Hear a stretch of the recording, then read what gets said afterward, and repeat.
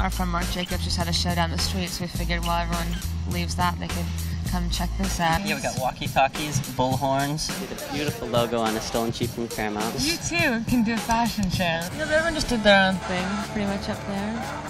Definitely.